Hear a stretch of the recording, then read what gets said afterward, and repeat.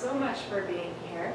Uh, part of our program's uh, theme tonight is, well, the Center of Fiction has us pair pieces with a book. And the book we are working with tonight is The Heart of Darkness by Joseph Conrad.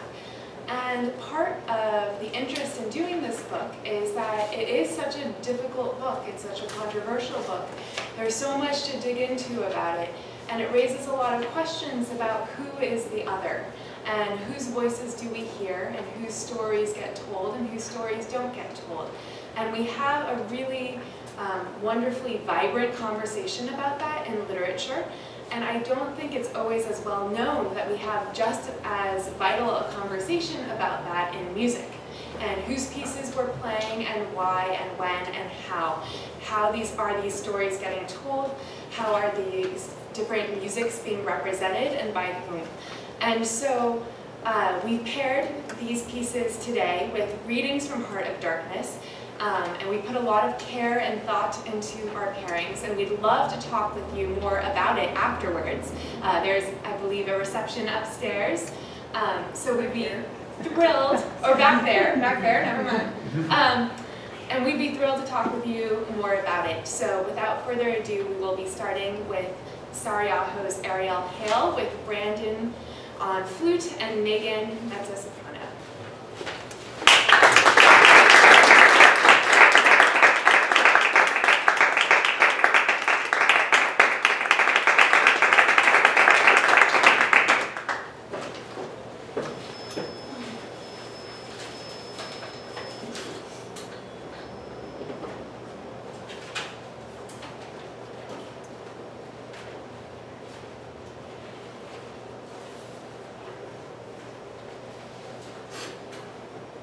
had my shoulders against the wreck of my steamer, hauled up on the slope like a carcass of some big river animal. The smell of mud, of primeval mud by Jove, was in my nostrils. The high stillness of primeval forest was before my eyes. There were shiny patches on the black creek. The moon had spread over everything a thin layer of silver, over the rank grass, over the mud, upon the wall of matted vegetation standing higher than the wall of a temple. Over the great river I could see through a somber gap glittering, glittering, as it flowed broadly by without a murmur. All this was great, expectant, mute, while the man jabbered about himself.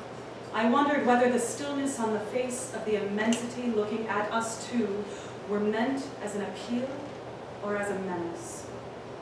What were we who had strayed in here? Could we handle that dumb thing, or would it handle us? I felt how big, how confoundedly big, was that thing that couldn't talk and perhaps was deaf as well. What was in there?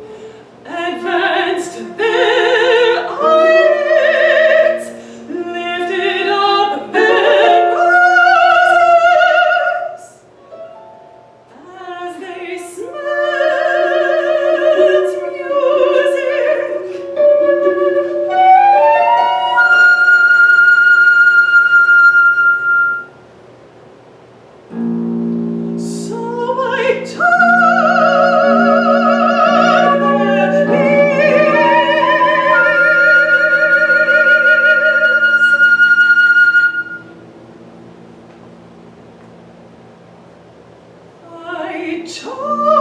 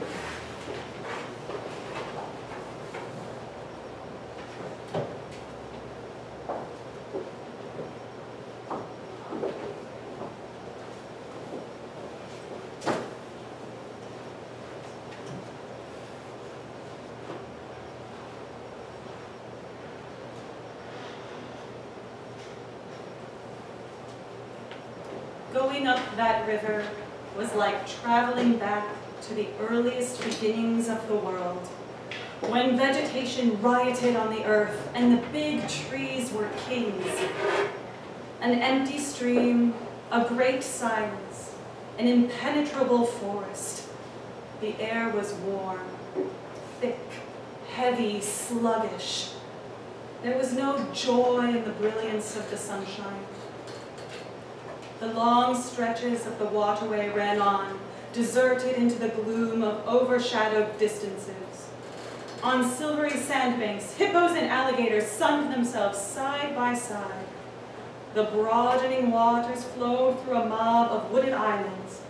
You lost your way on that river as you would in a desert, and butted along all day against shoals trying to find the channel, till you thought yourself bewitched and cut off forever from everything you had known once, somewhere, far away, in another existence, perhaps. There were moments when one's past came back to one, as it will sometimes when you have not a moment to spare to yourself. But it came in the shape of an unrestful and noisy dream, remembered with wonder against the overwhelming realities of this strange world of plants and water and silence. And this stillness of life did not in the least resemble a peace. It was the stillness of an implacable force brooding over an inscrutable intention.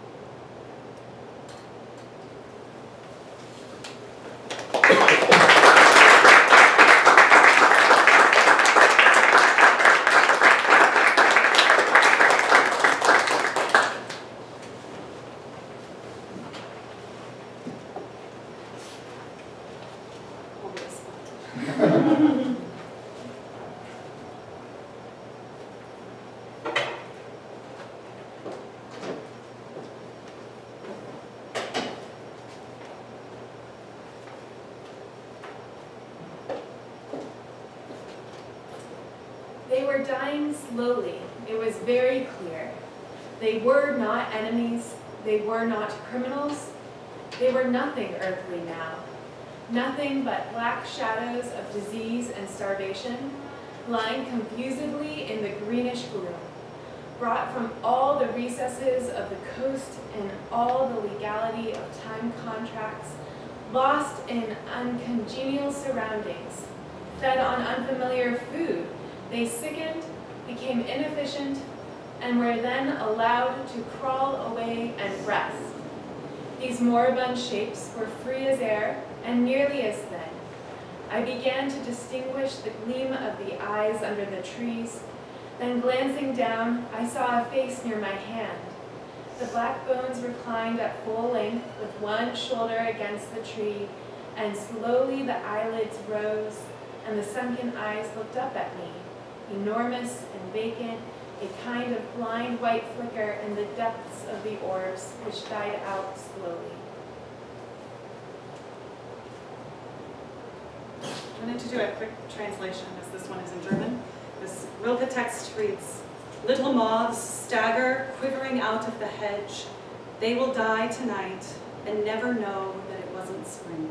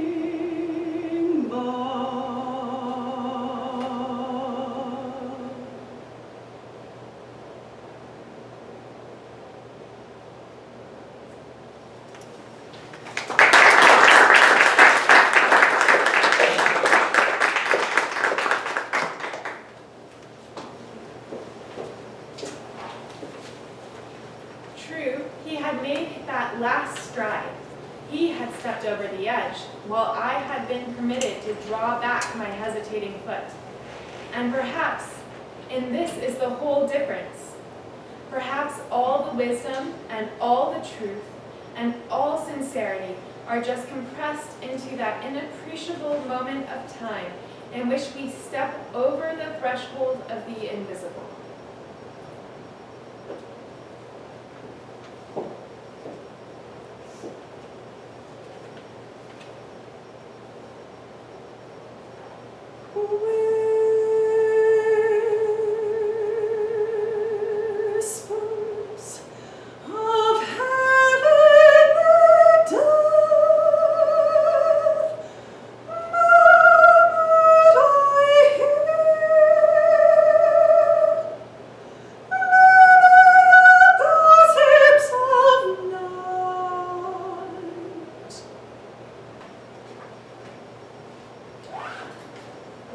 Coast as it slips by the ship is like thinking about an enigma. There it is before you, smiling, frowning, inviting, grand, mean, insipid, or savage, and always mute with an air of whispering. Come.